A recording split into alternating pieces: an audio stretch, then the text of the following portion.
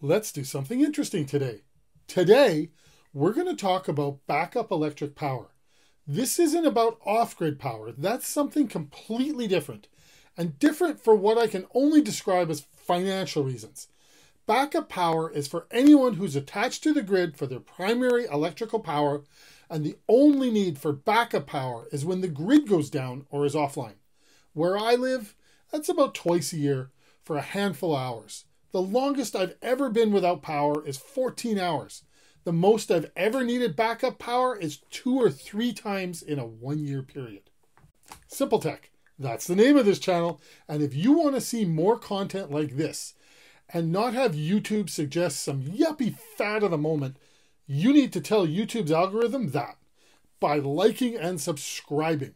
Unless you want more yuppie fluff, Liking and subscribing to content like this gets you more content like this, not just from Simple Tek, but from other creators who also produce content on the same topics.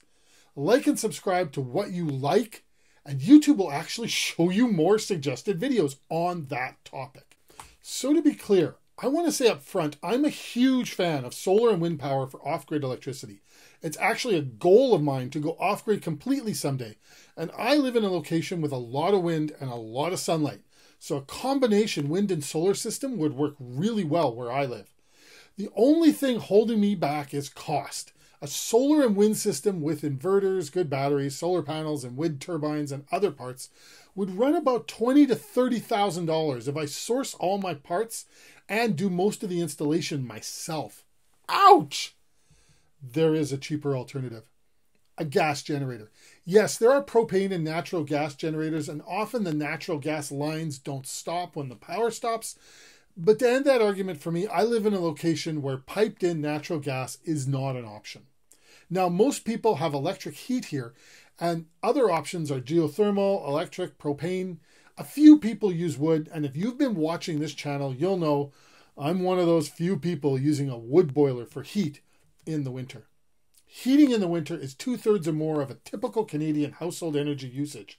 If you can heat with a method other than electricity, then your electricity usage isn't all that huge.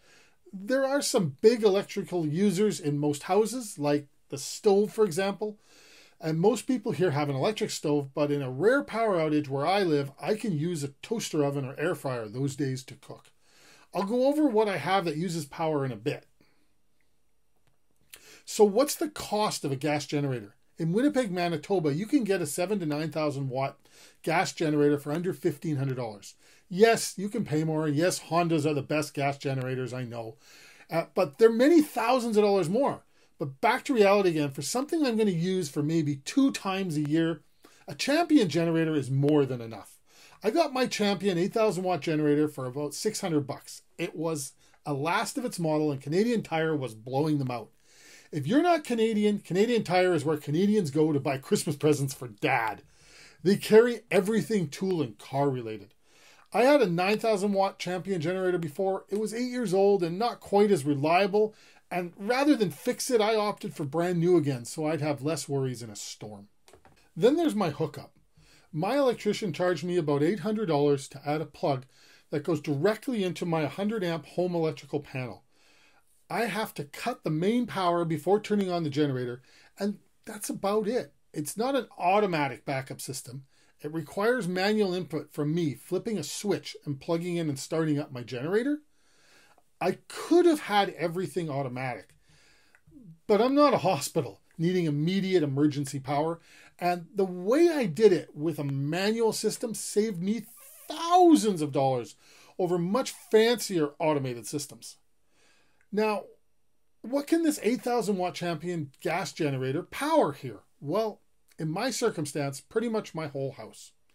We have to power some basics like my well pump and hot water tank and then there's the stuff inside the house, like lights, fridge, TV, Starlink, computers, greenhouse blowers outside, wood boiler pumps, and air flute, hot tub. It's a small inflatable hot tub that uses less than 1500 watts, but I love it. What I can't do is power my electric heaters, my electric clothes dryer, or my electric stove. Now, using my electric clothes dryer, electric heaters, or stove for a half a day really isn't a big deal. My wood boiler can heat my house for very little power usage. My concern is being able to operate most of my normal life stuff until full grid power is back. So 8,000 watts more than covers what I need on a short term basis. Basically, I can go a couple of days without grid power using my gas generator comfortably. As I stated before, I would much rather have a solar and wind power system. A solar and wind system is way cheaper to run if it's your primary source of power and pays for itself over time. The problem I have where I live, on grid power is really cheap. And an off grid system would take 7 to 12 years to pay off.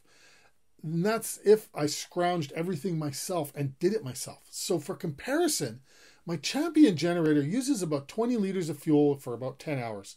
That's about $30 per storm, twice a year, or say $60 a year in fuel.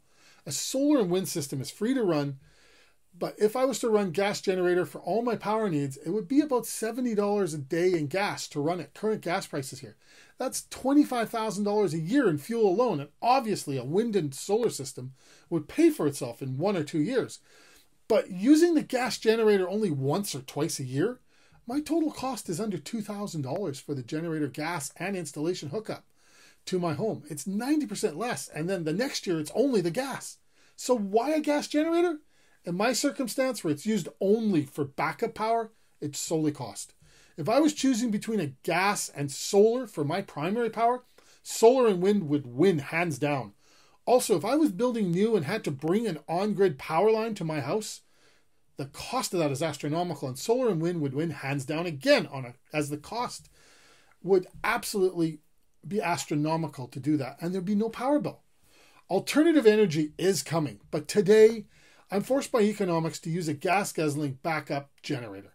Mind you, where I live in Manitoba, my on grid power is from hydro dams, so plugging into the grid here is ecologically friendly and cheap.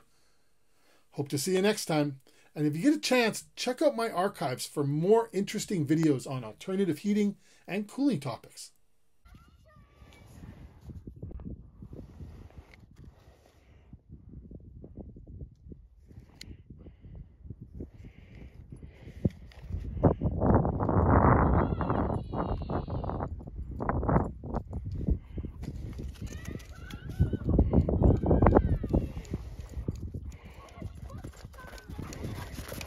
and